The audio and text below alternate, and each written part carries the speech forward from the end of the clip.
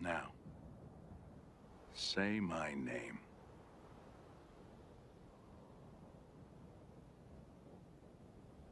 John C.